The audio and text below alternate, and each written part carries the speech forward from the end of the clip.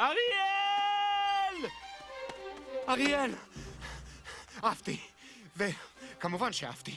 ואז, ואז ראיתי, את מי ראיתי? המכשפה מביטה בראי, והיא שרה בקול שאינו שלה! אתה תופס מה אני אומר? הנסיך נושא לאישה את המכשפה בתחפושת! אתה בטוח בזה? אני לעולם לא טועה! זאת אומרת, כשזה חשוב! מה נעשה? לפני שקיעת השמש ביום השלישי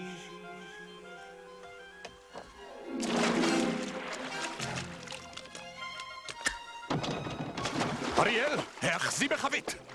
פלאונדר, הבא אותה אל הספינה הזאת במהירות הבזק! אשתדל.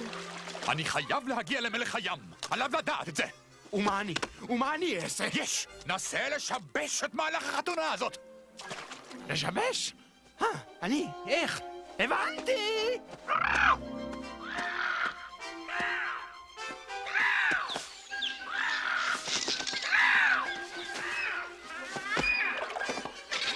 הזיזו את עצמכם! יש לנו מקרה חירום!